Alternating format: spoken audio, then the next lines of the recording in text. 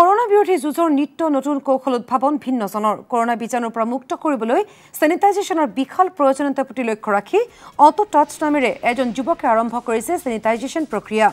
বাহনসমূহক sanitize কৰিবৰ বাবে দক্ষিণ কোৰিয়াৰ পৰা ক্ৰয় কৰি অনা হৈছে এটা বিশেষ ষ্টিম মেচিন। এই যন্ত্ৰৰ জৰিয়তে ৰাসায়নিক পদাৰ্থৰ মিশ্ৰণ ঘটাই বাহনসমূহ ছেনিটাইজ কৰা হয়। নব্বৈ ডিগ্ৰী চেলছিয়াছ উষ্ণতাত বীজাণু নাশৰ চেষ্টা কৰা হয়।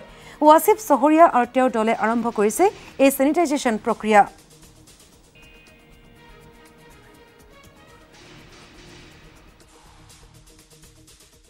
ফাৰ্ষ্ট অফ অল মই ৰিচেণ্টলি এইটো কাৰেণ্ট যোনটো চিটুৱেশ্যন ক'ভিড নাইণ্টিনৰ সেইটোৰ ওপৰত বেছ কৰি মই ভাবিলোঁ যে এনেকুৱা টাইমত এনেকুৱা এটা ক্ৰুচিয়েল চিটুৱেশ্যনত এনেকুৱা এটা বিজনেছ য'ত আমাৰ আপুনি পাব্লিকৰটো এটা ছাৰ্ভিচ হ'ল প্লাছ আমাৰো বিজনেছৰ এটা মানে তেনেকুৱা হিচাপত আমি কামটো ষ্টাৰ্ট কৰিলোঁ।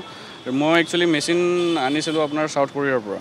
তে ইয়াতেতো নৰ্মেলি আপোনাৰ বহুত মানুহে চেনিটাইজ কৰি আছে কিন্তু খুব বেছি ইফেক্টিভ নহয়। চ' মই সেইকাৰণে ভাবিছোঁ যে ডেফিনেটলি যদি চেনিটাইজ হ'ব লাগে ভাল প্ৰপাৰলি হ'ব লাগে।